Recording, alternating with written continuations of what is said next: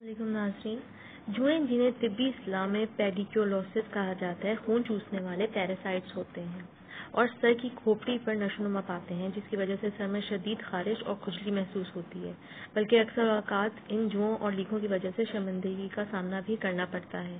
ویسے تو جوئیں ہر عمر کے افراد کو متاثر کر سکتی ہیں، لیکن بڑوں کے مقابلے اسکول جانے والے تین سے بارہ برس کے بچے اس مسئلے کا زیادہ شکار نظر آتے ہیں۔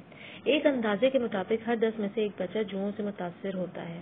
کیونکہ بچوں کے ایک ساتھ اٹھنے، بیٹھنے، کھیلنے اور دیگر سرگرمیوں میں حصہ لینے کے دوران یہ جوئیں بآسانی ایک سر سے دوسرے سر میں منتقل ہو جاتی ہیں۔ اس کے علاوہ جوئیں متاثرہ شخص کی ذاتی استعمال کی اشیاء جیسے کنگھی، برش، تولیہ تکیا اسکارف کوٹ، ٹوپی وغیرہ شیئر کرنے سے بھی تیزی سے پھیل سکتی ہیں۔ جوئیں انسانی جسم میں تیس دنوں تک زندہ رہتی ہیں۔ اگر انہیں انسانی جسم سے الگ کر دیا جائے تو یہ بامشکل دو دن تک زندہ رہ سکتی ہیں۔ حالیہ تحقیق سے یہ بھی معلوم ہوا ہے کہ جوؤں کا اگر بر وقت علاج نہ کیا جائے تو یہ بالوں کی جڑوں کو کمزور کر دیتی ہیں اور مسلسل خارش کی وجہ سے بالوں میں اور سر میں انفیکشن بھی ہو جاتا ہے۔ ناظرین، مارکیٹ میں جوؤں کے خاتمے کے لیے بہت سی ادویات موجود ہیں، جن کے استعمال سے کچھ دنوں تک تو آرام آ جاتا ہے، مگر ممکنہ حد تک سکون نہیں ہوتا۔ چنانچہ میں آپ کو تین بہترین نسخے بتاؤں گی جن کے استعمال سے آپ کی مشکل آسان ہو جائے گی۔ اس سے پہلے میں آپ سے ریکویسٹ کرنا چاہوں گی کہ اگر آپ نے ابھی تک چینل سبسکرائب نہیں کیا تو پلیز سبسکرائب ضرور کر لیں تاکہ آپ جان سکیں ہر مسئلے کا حل۔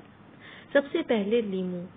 لیمو کو کاٹ کر بالوں کی جڑوں پر رگڑیں اور آدھے گھنٹے بعد سر دھو لیں۔ اس سے بالوں میں لگا تیل نکل جاتا ہے اور جوئیں بھی ختم ہو جاتی ہیں۔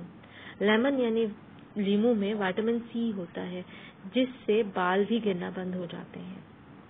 دوسری بہترین ٹپ ہے نیم اور تلسی کے پتے۔ مٹھی بھر نیم اور تلسی کے پتے لے کر پانی میں ابالیں اور ٹھنڈا ہونے پر اس سے سر دھوئیں۔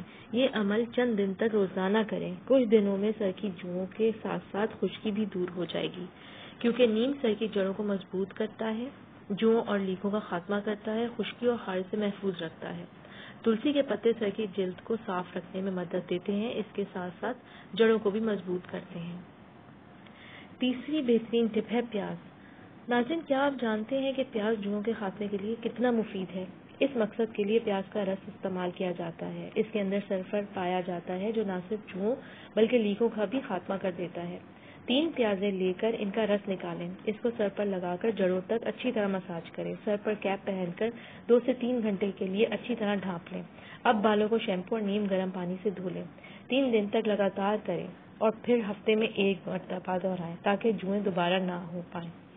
جو اور لیکوں سے چھٹکارا پانے کے لیے اپنے جسم اور ارد گرد کی صفائی کا خاص خیال رکھیں۔ امید کرتی ہوں آپ کو یہ ٹپ ضرور پسند آئی ہوں گی۔ مزید معلومات کے لیے پلیز چینل سبسکرائب کریں، اپنا بہت خیال رکھیں۔ اللہ حافظ۔